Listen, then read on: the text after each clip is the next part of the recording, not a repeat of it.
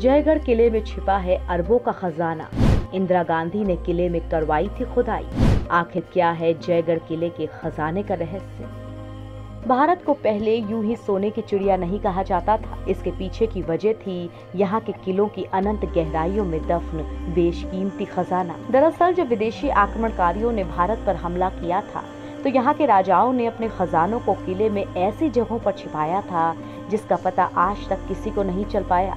ऐसा ही एक किला है, राजस्थान का जयगढ़ किला, जिसे जयपुर के राजा सिवाई जयसिंह ने बनवाया था। साल 1975 में जब देश में इंदिरा गांधी ने आपातकाल लगाया, उस समय जयगढ़ किले में छिपे खजाने की भी तलाशी ली गई। 10 जून 1976 को शुरू हुई ये तलाशी नवंबर 1976 में खत्म हुई थी। लंबी तलाशी के बाद सरकार ने कहा कि उन्हें किले से कुछ नहीं मिला, लेकिन उस समय इलाके के लोगों ने बताया था कि जयगढ़ किले में मिले खजाने को ट्रकों में भरकर दिल्ली लाया गया।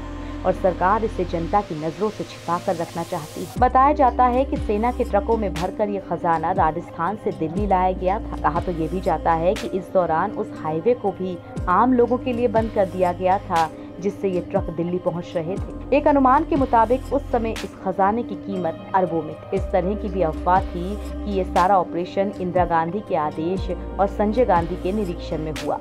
और ट्रकों का सारा सामान दिल्ली छावनी में रख दिया गया। हालाँकि इंदिरा गांधी ने कहा था कि उन्हें यहाँ पर कोई खजाना नहीं मिला। मगर इसी दौरान पाकिस्तान के पीएम जुल्फलिकार अली भुट्टो ने इस खजाने से पाकिस्तान का हिस्सा मांग लिया। इस पर भारत ने जवाब दिया था कि उन्हें कोई खजाना नहीं मिला।